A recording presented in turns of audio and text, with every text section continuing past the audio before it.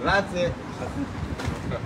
Sì, non si cavava dubbi di chi che Ecco, era. siamo con eh, Stefano. Ciao, Andrea, buongiorno. Ciao Franco, la gente come noi e stiamo tornando. Dietro c'è anche Matia e Cristian e stiamo tornando al Barco 4. Dopo sei mesi. Dopo Io è quanti sei mesi me- che non metto piede qua. Sei mesi? Sì. Sei mesi. Te lo ricordi quando scappavamo qui con i lacrimogeni qua su? Già a dire scappavamo, guarda. Eh, eppure siamo dovuti scappare perché ci hanno inseguito fino, fino all'ultimo. Ci hanno mandato via da casa nostra. Sì. Adesso non, non è che voglio di parlare. Non hai voglia di parlare, però abbiamo portato delle rose, vero Franco, Andrea? Abbiamo portato delle rose, fammele vedere. Queste sono il nostro simbolo per eh, una festa, perché noi qua ci siamo stati, per non dimenticare, perché noi non dimentichiamo.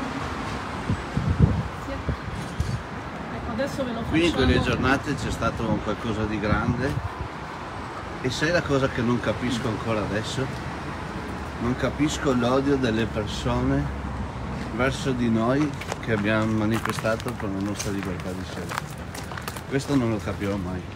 Perché alla fine non abbiamo fatto del male a nessuno, abbiamo solo lottato, come stiamo facendo tuttora, per i nostri diritti e non capisco veramente il fastidio che diamo alle altre persone.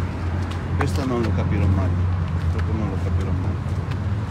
Stiamo andando, lo ricordo, al Barco 4, il famoso Barco 4 con eh, la rosa, simbolo di resistenza perché noi resistiamo, non ci fermiamo, la gente come noi non si ferma, il comitato, la gente come noi.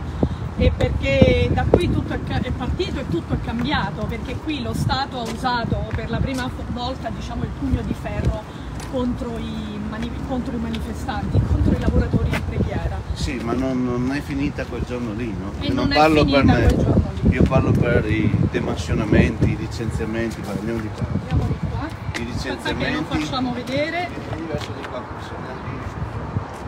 Vieni, aspetta che lo facciamo vedere.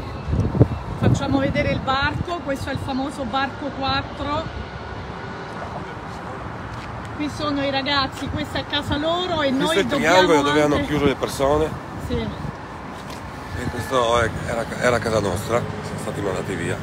Ecco, guardate, ci sono ancora le paratie che poi hanno messo altissime, sono alte eh, più di 3 metri, circondano tutto il parcheggio.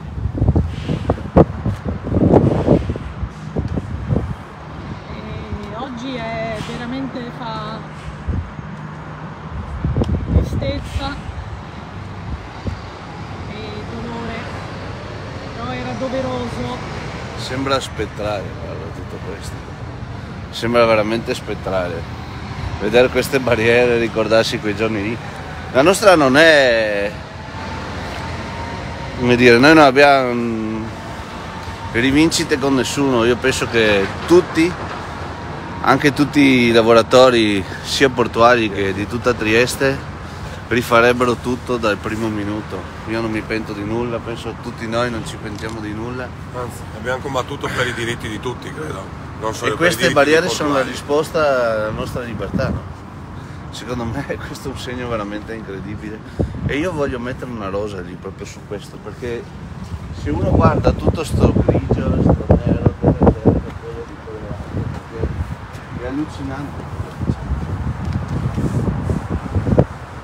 Questo è veramente allucinante. Ecco, i ragazzi stanno mettendo una rosa sulle barriere che eh, segnano un muro che è stato alzato, perché qui è stato alzato un vero e proprio eh, muro eh, tra le persone, non fortunatamente, ma tra le persone la polizia che è intervenuta in maniera violenta per la prima volta e poi ci sono anche le... violenta senza motivo perché noi eravamo qui per una libertà di scelta e chi doveva andare a lavorare ha scelto di andare a lavorare non c'è mai stato un momento di tensione anzi questa è la testimonianza che in Italia dobbiamo fare ancora tanto lavoro per poterci liberare da questa dittatura e per essere liberi di scegliere, perché noi abbiamo il, il diritto di poter scegliere.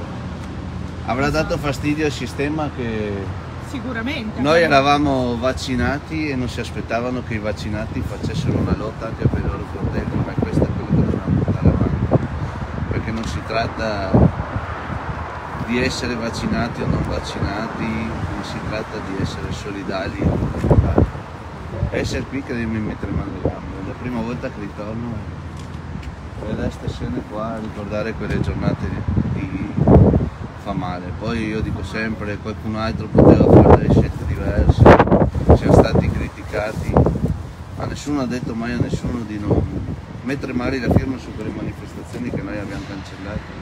Guarda, io Se uno era ero libero di prendersi la responsabilità, tu hai visto- tu hai visto di persona cosa stava Sono stata succedendo. qua tutti i giorni della, della manifestazione. Franco, stamattina a te ti venivano gli occhi lucidi quando Sì, effettivamente mi sono emozionato e devo dire la verità, pianto e non mi vergogno neanche di dirlo perché i sentimenti eh, devono, devono comparire, non si può essere bugiati davanti a una realtà del genere e mi sento male quando le gambe Anch'io provo questa stessa emozione, guardo queste malattie, ricordo l'acqua, i lacrimogeni, le botte. Questi sono 2 sì, metri e 40 Sì, quando sono due metri, ho detto tre metri, guarda, tre metri. Tre metri. Mi hanno messo proprio per dire qua è casa nostra. Andrea. Non ti volevo far intristire, però No, secondo no. me bisogna ripartire da qua. posto- Noi non possiamo dimenticare, poi fra, fra una mezz'oretta saremo in centro a Trieste per presentare il libro, però il libro parte da questo barco qua. È partito tutto da qua, sì. purtroppo come avete visto ci sono gli eletti, è come essere dentro una gabbia, purtroppo anche a me fa male tornare qua, sto pensando di non tornarci più, grazie per, per i miei colleghi, perderò dei colleghi, ma in questo posto credo che non ci ritornerò mai più, Non tornerai più al porto.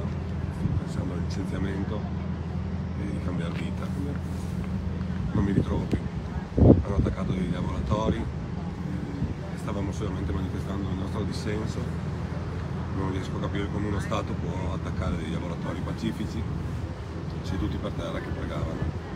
Con gli idranti, come hanno detto loro, a bassa pressione, infatti Marco sosteneva le foto 10 metri di voglia di tanto bassa pressione. Sì, un, portuale ha avuto un po' di vedere- rotto, insomma, me li ricordo, li Vedere anche i ragazzini che c'erano, che piangevano con i lacrimogeni, gli lacrimogeni dentro le, passeggini dei bimbi, gli anziani che cadevano, È stata una cosa impressionante. una vergogna. Una cosa impressionante. Una vergogna Però per quelle uno Stato immagini, democratico. le immagini che mi fatto come fuori dal corpo, le immagini restano. E oggi resta anche una testimonianza scritta e non solo delle immagini. E credo che questo sia importante. Cioè io volevo dare un segnale, noi siamo qui per dare un segnale che noi non dimentichiamo. E non molliamo, E non molliamo. Dimentichiamo. finché non, questo Stato non dio uno Stato di diritto e, e di solidarietà. E vi faccio vedere un attimo Stefano che passeggia in solitaria, guarda un po' Stefano è anche stato licenziato e credo che questa passeggiata solitaria di Stefano la debba portare. Fa male.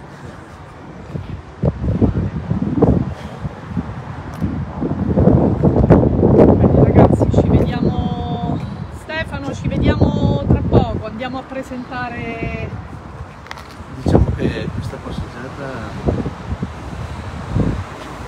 deve servire a tutti. Chi era qui che le giornate tremano le gambe perché sappiamo cosa abbiamo messo in gioco quel giorno, sappiamo la condizione nella quale siamo adesso.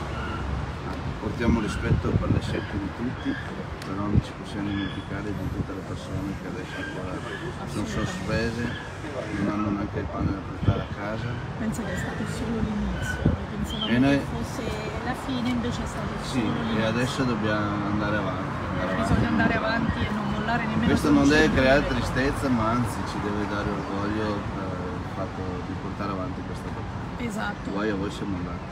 Non non si molla mai. Ciao ragazzi, ci vediamo tra poco per la presentazione di Sospesa, che ci saranno appunto anche Franco, Andrea, Stefano, la gente come noi e tutti quelli che vorranno venire con noi e fare questo viaggio perché ripetiamo siamo solo all'inizio. eh. Purtroppo. Purtroppo. A dopo!